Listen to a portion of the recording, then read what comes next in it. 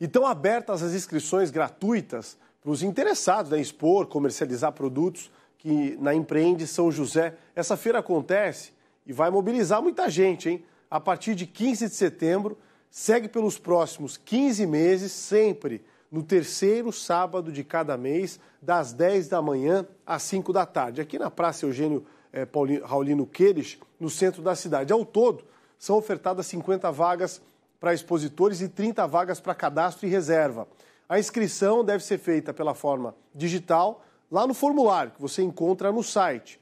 Pode ser acessado em sãojosé.sc.gov.br até o dia 11 de agosto.